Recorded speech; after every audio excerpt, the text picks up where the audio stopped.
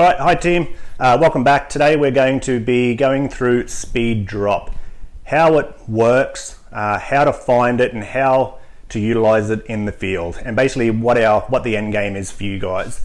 So before we head out to the range and actually show you how it works uh, in real time, we'll quickly go through and show you what we're actually trying to achieve with speed drop. So with speed drop, we are just trying to find some sort of relationship between our data and our range. So it works the same way as what Quick Wind does. So the guys who have done one of our courses will understand that with Quick Wind, uh, you are trying to find a relationship between a particular wind value uh, or your gun value and how that corresponds to a particular range.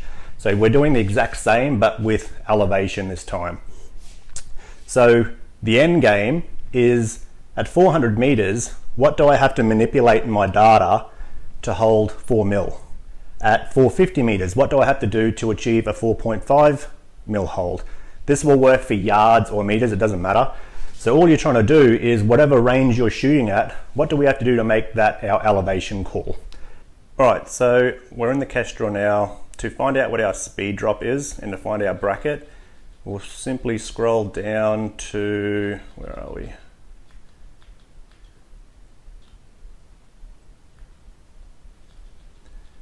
Scroll down to accuracy first. Scroll down to speed drop.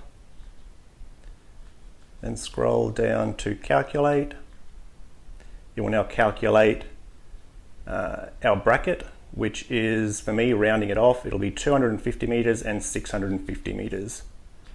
If I scroll up, it's given me my speed drop number, which is 1.8. If I click on that, I can set that to uh, 0.1 or 0.2 uh, speed drop error. All right, so we've just gone through the Kestrel and we know now that our range, uh, sorry, our bracket is 250 meters. It goes down to 650, but we're just gonna do it to 600 because I ran out of whiteboard.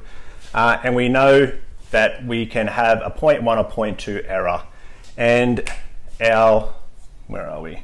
Let's do it here. And our speed drop number is 1.8. So what we're doing is adding the 1.8 to our current elevation uh, and that there will give us a new mil hold.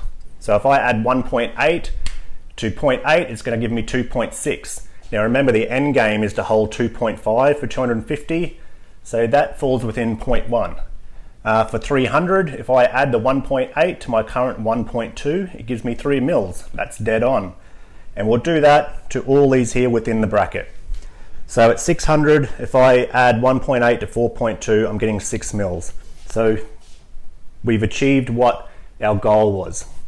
So how do we apply this to our optic now? So what we're going to do is from our zero, our 100 meter zero, 100 yard zero, we're just going to dial down 1.8. So now what we're essentially doing is we're adding the 1.8 to our optic and then just holding our range. If I'm at 450, I'm just going to hold 4.5. I'm 0.2 error.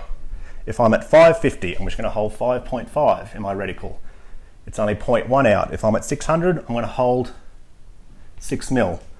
It's dead on, there's no error there. At 250, which is the start of my bracket, if I hold 2.5, it's only 0.1 out. So it's worked. So what we'll do now is we'll head out to the range.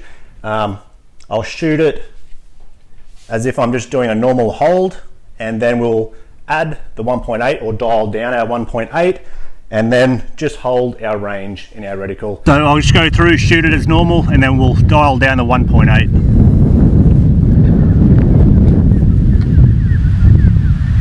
So the first target is 290. We need 1.2. Three six five, one point eight.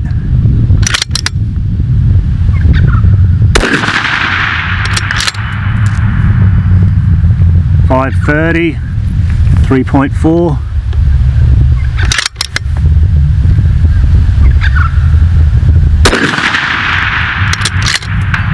So now what I'm going to do is dial down the 1.8 that we need.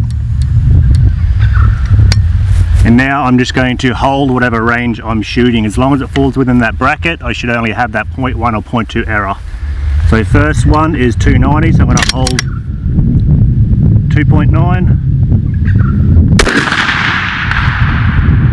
360, 3.6,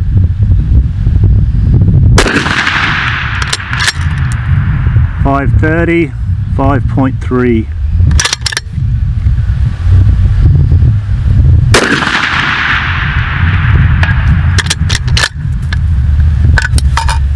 Now if I was going to be shooting outside that bracket, like at a thousand or something like that, I would dial back to zero and shoot it as normal just to eliminate that 0.1, 0.2 error because I'm outside that bracket, it's actually going to be a 0.3, 0.4 or even more error.